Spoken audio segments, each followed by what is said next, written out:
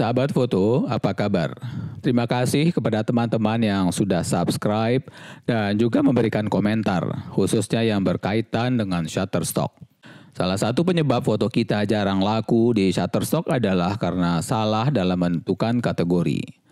Calon pembeli tidak menemukan foto kita karena kita keliru dalam memilih kategori ketika mengupload foto ke Shutterstock. Setelah mengisi deskripsi dan jenis penggunaan, Shutterstock meminta kita untuk memilih minimal satu kategori yang sesuai dengan foto kita. Kita juga diperbolehkan memilih dua kategori apabila kita merasa foto tersebut bisa mewakili dua kategori sekaligus. Berikut adalah pilihan kategori tersebut dilengkapi dengan penjelasan masing-masing. Abstrak. Konten dengan gambar fraktal, blur, pola, tekstur, dan konten yang bersifat abstrak.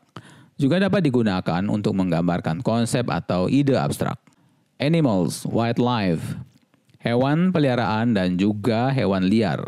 Arts, objek alat yang dipakai untuk membuat karya seni atau orang yang sedang melakukan kegiatan seni seperti melukis, memahat, menganyam juga dapat digunakan untuk menggambarkan segala jenis karya seni, lukisan, atau ilustrasi.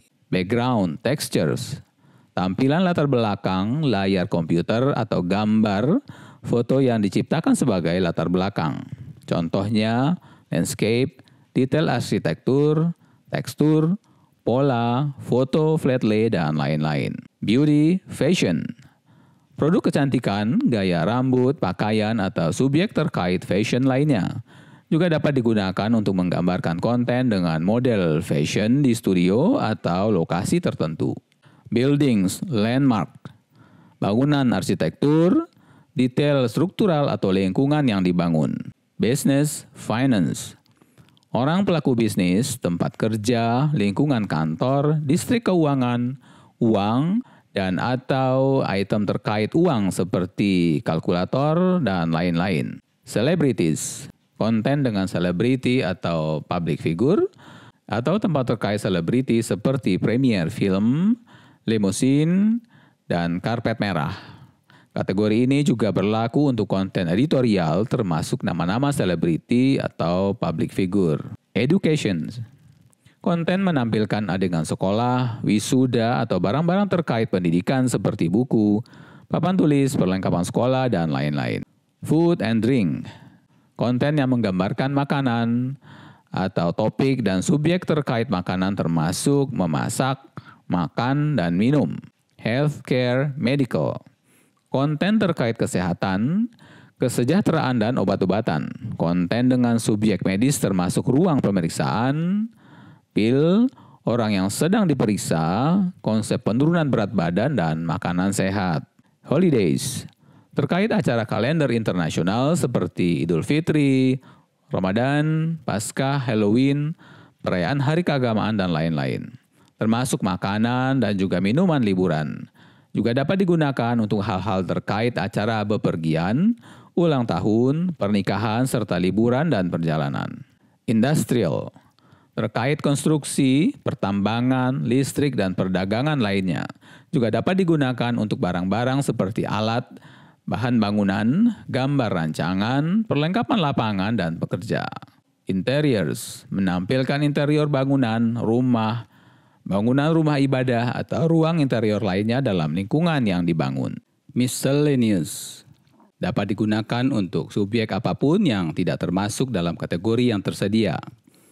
Nature menampilkan tumbuhan, binatang, awan, aliran air, atau subjek terkait lingkungan lainnya. Objek konten dengan satu benda atau kelompok benda-benda sebagai fokus utama.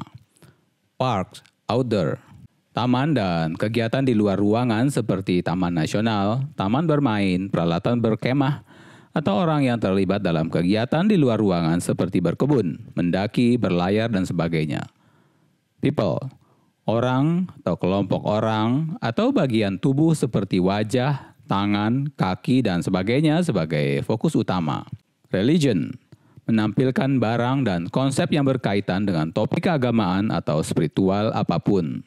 Science berkaitan dengan bahan kimia atau obat-obatan, makhluk hidup, planet, atau teknologi. Kategori ini juga dapat digunakan untuk objek atau simbol apa pun yang berkaitan dengan bidang ilmu pengetahuan atau medis. Sign, symbols, menampilkan tanda atau simbol termasuk bendera, ikon, logo, tanda stop, panah, atau orang yang memberikan isyarat. Sports, recreation, berkaitan dengan kebugaran dan olahraga atau hobi yang dilakukan di darat, udara, atau air seperti berburu, selancar, bersepeda, senam, terjun payung, menyelam, dan sebagainya. Technology berkaitan dengan komputer, telepon, perangkat listrik atau teknologi nirkabel, telekomunikasi, dan sebagainya. Kategori ini juga dapat digunakan untuk tampilan layar komputer, kode pemrograman, atau konsep teknologi lainnya seperti kecerdasan buatan dan realitas virtual.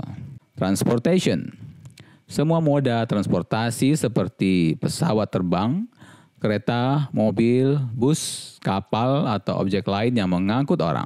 Kategori ini juga dapat digunakan untuk konten yang berkaitan dengan jalan, jalan raya, lintasan balap, dan sebagainya.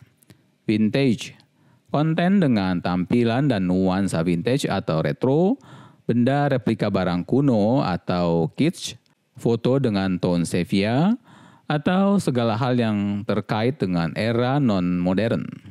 Demikian, semoga ke depan kita tidak salah atau ragu lagi dalam menentukan kategori untuk foto-foto kita yang di-upload ke Shutterstock. Semoga bisa menambah informasi bagi kita semua, terutama teman-teman kontributor pemula. Tetap rajin mengupload, usahakan dengan tema yang bermacam-macam, lengkapi dengan judul yang sesuai, pilih deskripsi dan hashtag yang tepat. Terima kasih sudah menonton video ini. Tetap semangat dan salam potret.